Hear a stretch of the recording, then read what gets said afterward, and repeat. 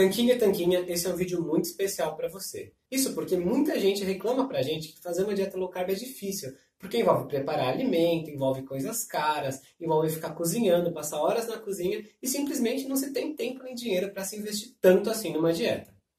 Então, nesse vídeo a gente resolveu mostrar como a gente pessoalmente lida com esse problema.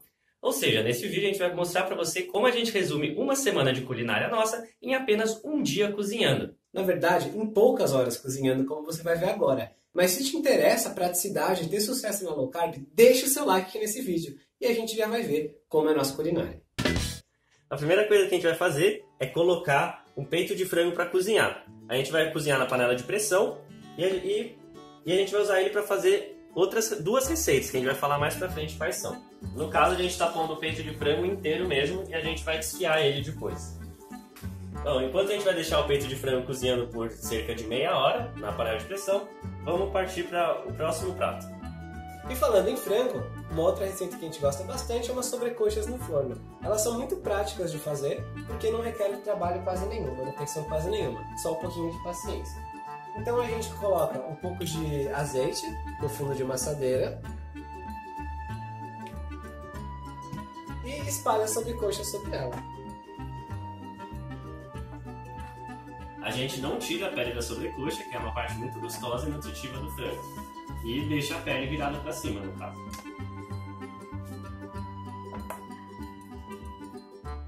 Aqui a gente tem cerca de 2 kg de sobrecoxa de frango.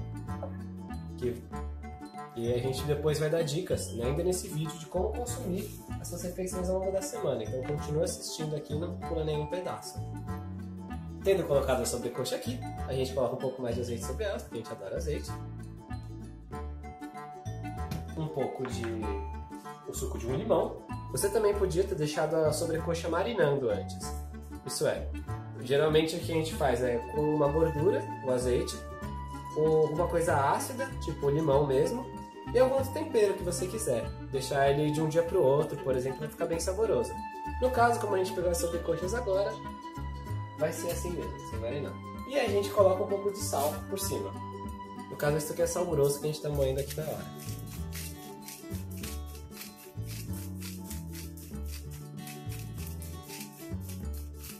Você também pode colocar algum tempero, como por exemplo...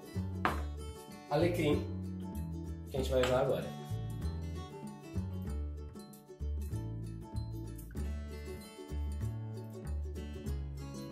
Você vê tudo bem simples, bem no olho. Leva aqui 5 minutos para preparar isso e depois é só esperar a comida no forno. A gente vai colocar papel alumínio por cima e deixar no forno por cerca de uma hora e depois abrir o papel alumínio e deixar mais uns 20 minutinhos. E agora a gente vai cortar bastante alho e cebola que a gente vai usar em várias panelas para fazer várias receitas diferentes. E claro, a gente já vai falar quais são essas receitas, mas vamos começar picando alho e cebola. Nesse meio tempo, a gente picou aqui cerca de 100 gramas de alho, tá com 100 gramas agora, cerca de 900 gramas de cebola e, e bastante cheiro verde. O maço inteiro que a gente comprou na feira. Na verdade, podem parecer grandes quantidades, mas isso é porque a gente vai usar em várias das receitas, como a gente já falado antes. E a primeira receita que a gente vai fazer, é, em todas elas a gente vai refogar o alho e a cebola com azeite, e a primeira que a gente vai fazer e mostrar para vocês é a nossa carne moída. A gente vai começar refogando alho, cebola e azeite e depois vamos colocar a carne moída. A gente tem aqui cerca de 3 kg de carne moída.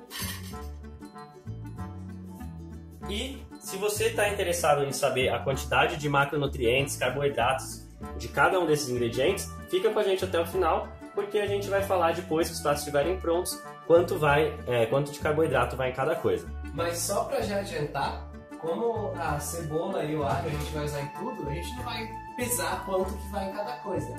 E as pessoas que começam a dieta muitas vezes têm medo da cebola por causa dos carboidratos. Porém, esse medo é infundado, porque olhando um pouquinho a informação nutricional dela, você vê que 1 kg de cebola, que é mais ou menos o que a gente tinha, tem cerca de 70 gramas só de carboidratos líquidos. Isso é para dois homens adultos ao longo de uma semana inteira, espalhado em vários pratos. Então realmente não tem motivo para ter medo da cebola. O alho tem um pouquinho mais. Tem cerca de 100 gramas de alho, tem cerca de 30 gramas de carboidratos líquidos. Mas, como você deve saber, ou pelo menos observado, a gente usa alho muito menos do que cebola para temperar os alimentos.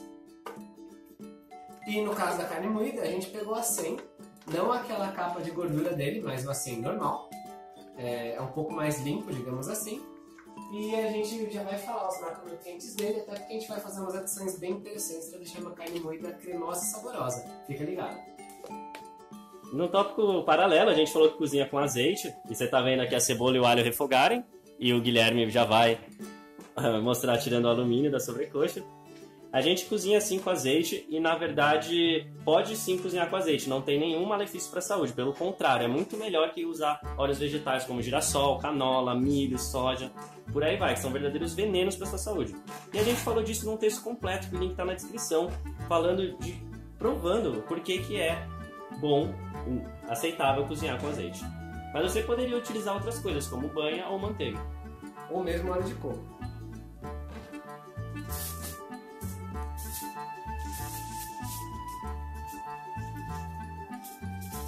Muito bonita a nossa sobrecoxa aí. Agora vamos deixar ela aqui para dourar um pouco. A sobrecoxa adora e a gente adora. Agora eu vou adicionar a carne moída aqui na panela. O nosso próximo prato no menu é um refogado de couve com repolho. A gente está adicionando aqui, já tem ó, alho e cebola. Agora vai colocar uma couve. Tem cerca de 600 gramas de couve, aquela couve Manteiga. aquela couve manteiga. Muito obrigado, né? A gente vai colocar a couve nessa panela para poder fazer o nosso prato. A gente utiliza mesmo o talo dela, não tem problema nenhum usar. É bem nutritivo também. A ideia aqui, depois que a couve refogar um pouco e diminuir de volume, a gente vai adicionar também o repolho. que São duas folhas que diminuem bastante de volume, mas que fornecem uma variedade incrível de nutrientes. E também vale notar que tanto no caso da carne quanto da couve, do repolho, enfim, o que acontece é que a gente coloca sal a gosto e coloca temperos a gosto também. E você pode colocar o que você preferir. No caso aqui, como a gente já mostrou, tem um monte de cheiro verde que a gente vai distribuir pelos pratos também. Mas pode ficar à vontade para utilizar outros, como alecrim, orégano, manjericão, cúrcuma e por aí vai. No caso, a gente está tendo 600 gramas de couve manteiga e cerca de 1.100 gramas de repolho branco cru. Isso vai dar total para a gente, ao longo da semana, tudo isso cozido, junto, etc., cerca de 350 calorias, cerca de 65 gramas de carboidratos líquidos e 27 de proteína. E a gente está pesando e mostrando para vocês só para ilustrar o ponto de que esses alimentos são baixos em carboidratos e não para você ficar pesando quanto de folha você compra. É só porque muita gente, quando começa, tem dúvida se pode mesmo comer folhas na low carb à vontade. E a gente está mostrando que sim. Aqui nessa panela que a gente já tem alho e cebola refogados, a gente vai colocar 400 gramas de abobrinha. No caso, a abobrinha que a gente tem aqui é a menina, menina brasileira, se não me engano. Mas geralmente a gente usa a abobrinha italiana mesmo. É que dessa vez não tinha na feira e a gente sempre pega os vegetais que tem na feira. E junto com a abobrinha, que está sendo colocada aqui, a gente também vai fazer o brócolis. No caso, brócolis ninja, a gente tem duas cabeças de brócolis ninja que já estão aqui devidamente picadas.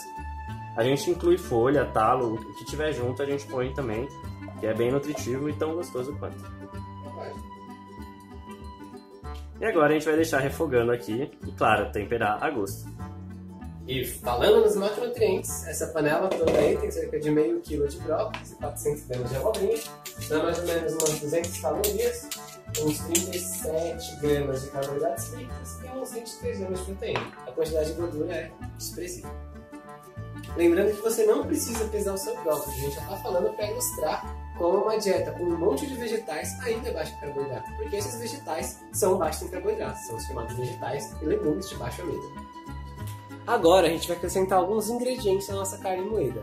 No caso, aqui a gente está tendo mais ou menos 450 gramas de cenoura e uns 500 gramas de abóbora cabotiá e bastante cheiro verde. A gente vai colocar tudo isso na carne moída e é um dos segredos para ela ficar cremosa. Outro segredo é usar o tomate, que eu já vou mostrar daqui a pouco, e vou mostrar também os macros da receita. Fica ligado. É interessante notar também que a carne moída poderia ser a abóbora poderia ser qualquer uma. No caso, a gente pega a que tem à disposição lá na barraca da feira que a gente gosta. E a gente coloca a semente também da abóbora, porque é bastante nutritiva, tem gorduras boas e também tem proteínas. E aqui nós temos também vagem picada. Essa vagem a gente vai colocar junto com o repolho e a couve que está aqui nessa outra panela. Já estão bem cozidos. Vai colocar a vagem. Na verdade não precisava ter esperado, mas a gente tinha esquecido dela, por isso a gente está só colocando agora.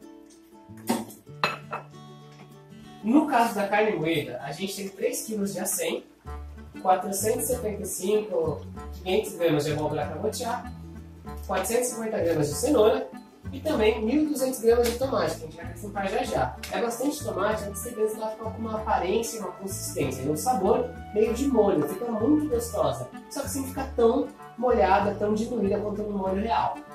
Então, a receita inteira tem cerca de 4.550 calorias, 623 gramas de proteína, 103 gramas de carboidratos líquidos, grande parte dos quais vem da cenoura e tomate, e 158 gramas de gordura. Mas é legal notar que mesmo uma receita de carne você consegue obter carboidratos, gorduras boas e mesmo fibras com ela. Essa é uma maneira legal de também incrementar suas opções em vez de comer tudo separadinho. Como você pode ver, a gente usa cenoura, mas usar outros vegetais, conforme a sua preferência.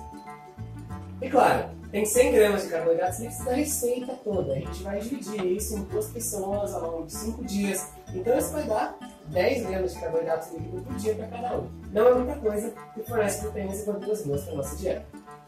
Aqui nessa panela, que a gente está refogando cebola e alho, para variar, a gente vai colocar aquele frango que a gente fez na panela de pressão e já desfiou ele inteiro.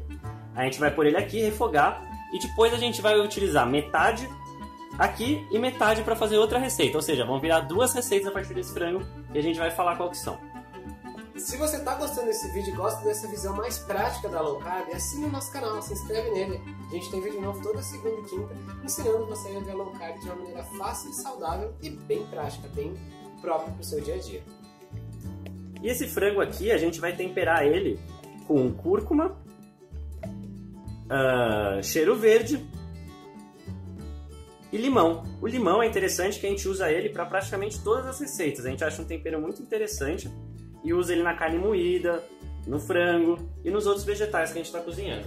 Você pode ver que a gente faz isso de usar o limão, a cebola, o alho e tal para facilitar, porque a ideia é ter uma visão mais prática mesmo da low carb, cozinhar uma vez só por semana, sem ter que perder horas e horas e mais horas na cozinha. A gente refogou um pouquinho aqui o frango e ele pegou o gostinho do tempero. Legal. Agora a gente vai fazer o seguinte: a gente vai retirar metade desse frango e vai reservar. A gente vai usar numa outra receita que você vai ver no nosso canal em breve: um salpicão caseiro delicioso. Se você quiser ver, ser avisado quando ela sair, se inscreve no canal e ativa as notificações. E com a outra metade a gente vai refogar com abóbora e tomate. Fica tipo um cozido bem saboroso que a gente gosta de comer logo depois do treino, por exemplo. Caso você não queira reservar metade, fazer outra receita, etc., tudo bem também. Você pode simplesmente fazer tudo junto agora. Uma outra dica para esse frango é de recheio das nossas empadinhas, que a gente ensina a fazer no outro vídeo que está aqui na descrição. E agora nessa panela aqui que tem a cebola e o alho refogando, a gente vai adicionar giló e quiabo. São dois alimentos que muita gente não gosta, mas a gente particularmente acha muito saboroso e claro, são low carb e bem saudáveis para você.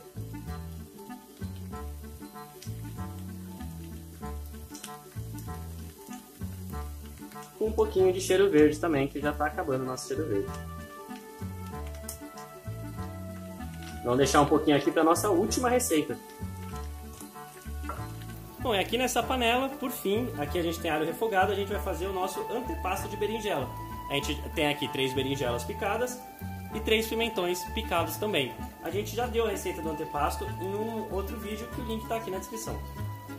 Então, se você quer saber como faz esse antipasto delicioso, clica no link da descrição. E a gente também tem, com o restinho de cebola e esses dois abacates, a gente vai fazer um guacamole, que também a gente vai ensinar em outro vídeo, que também tem o um link aqui na descrição. É mais uma dica para você, mais uma opção para você fazer na sua dieta low carb. Agora, fica com a gente que a gente vai fazer algumas observações importantes sobre essa culinária massiva que a gente costuma fazer uma vez por semana. Bom, nossa sobrecoxa está pronta, faltou falar os macros dela. Tem cerca de 2 kg de sobrecoxa aqui, o que dá umas 5.200 calorias, cerca de 570 gramas de proteína e 300 de gordura. E para completar, a gente tem saladas, ou seja, coisas que a gente não vai cozinhar. Aqui a gente tem a selga, que a gente lava e deixa na geladeira embrulhada em um pano, porque ela conserva bem na geladeira. Aqui a gente tem dois pés de alface americana, que a gente vai lavar ainda, não estão lavados, e alguns tomates, que a gente pica, pega um por refeição. E vamos fazer umas observações importantes para você, mas primeiro vamos sair dessa cozinha que está super quente. Como você deve ter visto, a gente cozinhou para uma semana inteira, para dois homens adultos e levou mais ou menos três horinhas. Tudo o que precisa é de um pouquinho de organização. Mas se você acha que por cozinhar apenas uma vez por semana os seus pratos vão ficar muito iguais e enjoativos ao longo da semana, então você vai ver agora que isso não é verdade. Agora a gente vai mostrar diversos pratos para você que a gente pode fazer combinando todos esses alimentos que a gente preparou de uma só vez. Por exemplo, nesse prato aqui tem a berinjela, tem as folhas e tem duas sobrecoxas. É um prato simples e gostoso para se você não quiser comer tudo igual todos os dias. Salpicão de frango com tomates picados e também um pouco do refogado de folhas, que incluía o repolho e a couve. Nesse outro prato a gente tem carne moída, tem dois ovinhos fritos, tem quiabo e tem o brócolis com abobrinha refogados. Também é muito gostoso. Aliás, se você quer aprender a fazer o salpicão que o Rony falou, comenta aqui embaixo, hashtag quero salpicão. E aqui o mix de frango com guacamole e alface. Como você pode ver, rapidamente a gente montou quatro combinações excelentes de pratos e você pode montar as suas preferidas. E claro, se você prefere comer tudo igual, você pode. Se você prefere deixar um pouco mais de proteína para os dias que você treina, por exemplo, com essas opções com frango, você pode também. Você é muito livre para fazer as combinações que você quiser. Essa é só a maneira que a gente se organiza. E é claro que precisa de um pouquinho de organização também, né? Por exemplo, o guacamole estraga mais rápido na geladeira. Talvez não seja tão bom você cozinhar no domingo, preparar no domingo e comer na sexta-feira. Mas outros itens como o frango e a carne moída conservam muito bem durante a semana toda. A gente particularmente prefere pegar porções de todos e fazer um prato bem variado em todas as refeições. E para complementar esses pratos, para deixar eles ainda mais variados, tem algumas coisas que a gente faz na hora, como por exemplo o ovo frito, até porque não daria fazer ovo frito na segunda-feira e comer ele na quarta. Ia ficar horrível. E claro, são coisas super fáceis. Fritar um ovo, tomar um cafezinho durante a manhã, é, ou mesmo se você quiser, você pode talvez comprar uma bisteca temperada e passar na frigideira também na hora. Vai do seu jeito. O que a gente quis mostrar é que é possível você juntar grande parte do trabalho culinário da semana em algumas poucas horas e vai facilitar muito sua organização e sua vida. E agora vamos falar de outro ponto que as pessoas também reclamam, que é o preço. Quanto custou tudo isso, Rony? Todas as coisas juntas? Todas essas coisas juntas para alimentar dois homens adultos durante uma semana inteira custou apenas R$ 45 na feira e R$ 70 no açougue.